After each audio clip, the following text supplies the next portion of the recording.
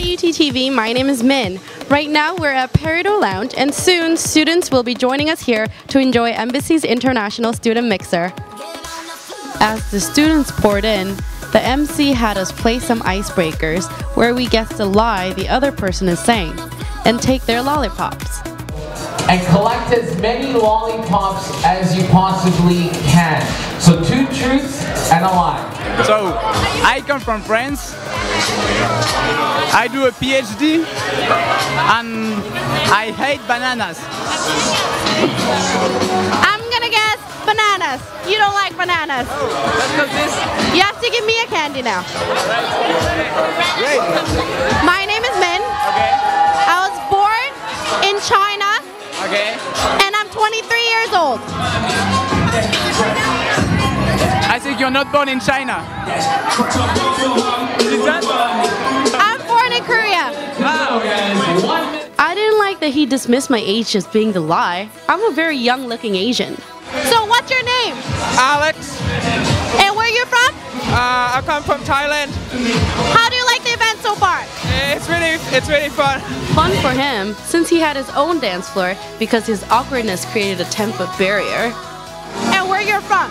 I'm from China originally. I came to Canada two years ago. Awesome. And tell us a little bit about your outfit. Yeah, actually it's a little bit complicated because uh, I really don't have any neon theme party dress. But I remember I do have something special from China. And this is actually something really traditional dress in China. And how do you like the event so far? Are you enjoying yourself? Oh my god, it's great. I really love it. I think it's really awesome. We meet so many people from different countries. And it's really like really, really great music. And we have free dessert. It's awesome. This is our soft launch for uh, the community that we recently launched, the Embassii. And uh, essentially, it's just a great way for international students to get to know each other. So essentially, it provides a home away from home for them to uh, to connect with each other, to meet, exchange information, and uh, make the most of their time in Toronto. Tell us how Embassii was found and tell us a little bit of details about Embassii itself. So it's founded by uh, by a group of us. All of us have have been on exchange or lived abroad. Uh, and from our learnings and experiences, we thought it would be great for Toronto to, to have a community that connects all the international students. What What do you think the ultimate goal for Embassii is? Uh, we're hoping it'll provide a better experience for uh, for the international students in Toronto, allow them to uh, really experience the city to the fullest. And uh, we believe what will make that possible is them supporting each other by connecting with each other, by sharing their own experiences and tips.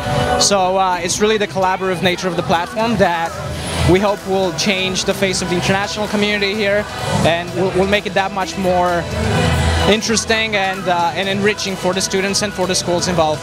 All right, for inviting us here today. And that's it for today, guys. Have a good night. Bye, UTTV.